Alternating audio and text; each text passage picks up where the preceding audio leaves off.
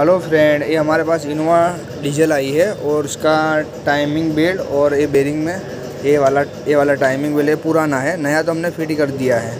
और और ये वाली ये वाली टेस्टनर बेरिंग है। इसके अंदर ये बेरिंग आवाज़ करती थी तो हमने बेरिंग तो चेंज कर दी है और टाइमिंग किस तरह से बहुत जनों फ्रेंड का कमेंट आता है कि इनोवा का टाइमिंग किस तरह से आता है इस तरह से आता है। ये केम साहब है। वो केम साहब का टाइमिंग है जो ए वाला जो लीटी और दिखती है टिप का और ए एरो से मिलता है।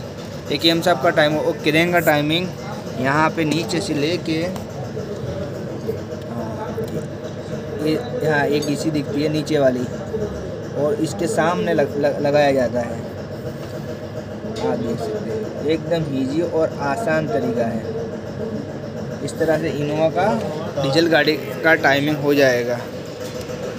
और बेल भी इतना ऑटोमेटिक ही है, इतना ही टाइट रहेगा।